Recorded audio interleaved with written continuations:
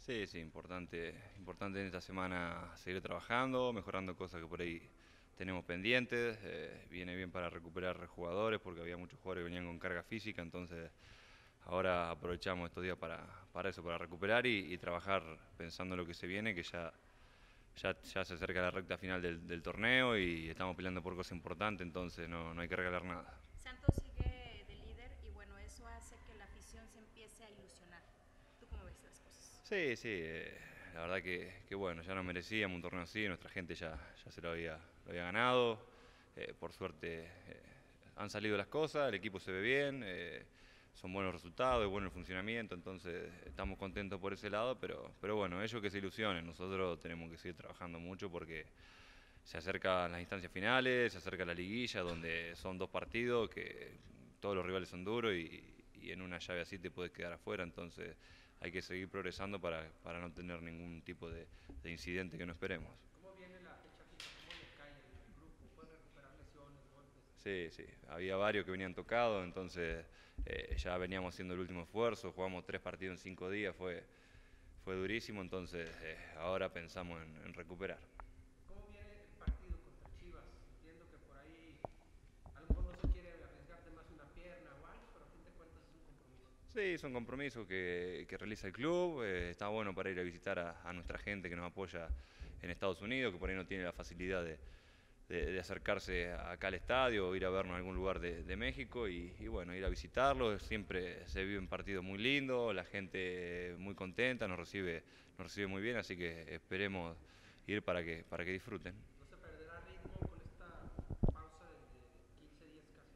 No, no, yo creo que no, yo creo que, que al contrario, sirve para, para reponerse, para trabajar ahí detalles que por ahí nos estaba faltando, así que, que siempre bienvenido este tipo de parate porque la, carga física es muy alta, son muchos partidos en muy poco tiempo, entonces llega un momento que se requiere descansar un poco.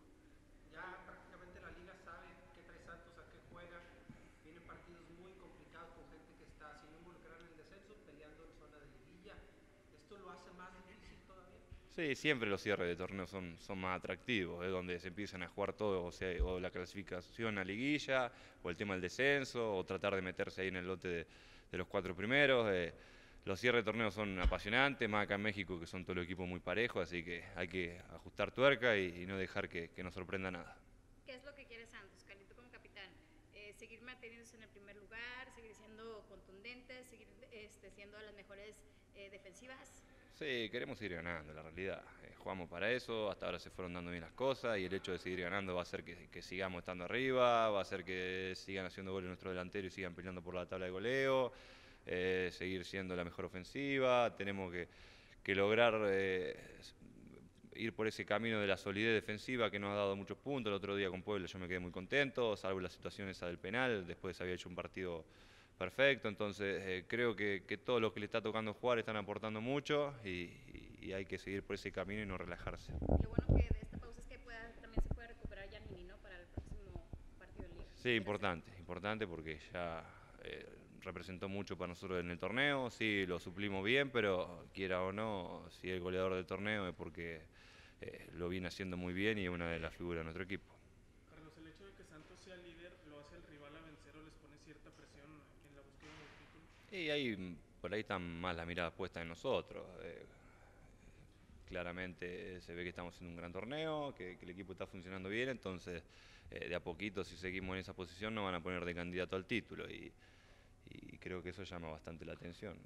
Pero bueno, nos gusta. Eh, creo que, trabajamos para eso, para pelear en los primeros lugares, así que ahora que tenemos el privilegio ese, tenemos que hacernos cargo y, seguir trabajando todos los partidos como lo venimos haciendo. ¿Tú crees que Santos tenga suerte de campeón? Ojalá, ojalá es lo que más decíamos, estar festejando todos juntos. Eh, ya me tocó, es una fiesta impresionante y, el que no se ilusione y no sueña con poder salir campeón, eh, la verdad no, no sirve para esto. Así que eh, si me preguntan si querés ser campeón, obviamente, y que vamos a hacer todo lo posible, eso no hay que, no hay que dudarlo.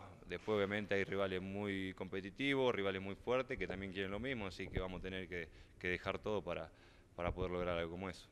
Precisamente, ¿qué similitudes encuentras entre este equipo y el que fue campeón en el 2015?